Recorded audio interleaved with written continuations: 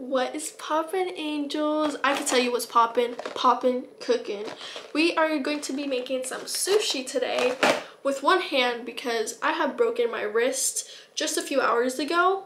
A good chef always needs their hat, right? So we're gonna go ahead and put on my chef hat. We have our chef hat on. It was a bit of a struggle putting it on, honestly, with one arm. But poppin' cooking. Am I going to eat this? So this is just water. We only need water for this. So this is how it looks when you open it up. I need to like balance this. Guys, how, okay, I'm gonna have to learn how to balance so I can serve. I think I filled this up with water. This little squeezer thing. I have this tray. Just gonna pour a little bit of water. Like that, perfect. Okay, so now we're gonna add some of this blue packet which says rice candy powder. Look at these snipping skills, like, eh. I'm adjusting.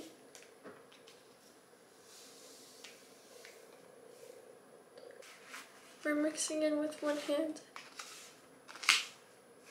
Hey, wait, no, it's so interesting. This is so interesting. The way it all just like absorbs and puffs up. This is not natural. The way I barely even needed to mix it and it just became this like instant powder. That's what it is. Okay, it says wait for three minutes until firm. What? I need to wait for this to get firm. What? So we're gonna add water to the line. Oh, that's good. It's this orange packet here. The smell of this is very strong. Okay, so this is less powder. Maybe it's gonna be a different consistency.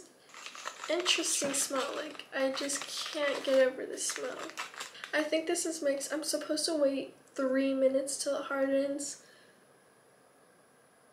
It's 9.41 currently, so 9.44. Now I'm going to add tuna. Personally, I would not eat this in my sushi. Okay. Smells like pineapple, honestly. Oh, wait, I'm supposed to take this out and make a sushi roll.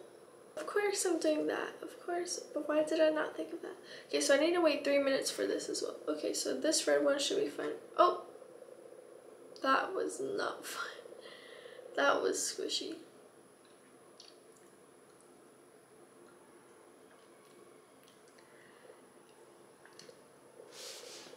Okay, we're gonna make some seaweed. Look at this packet. Look at this packet. Inside here,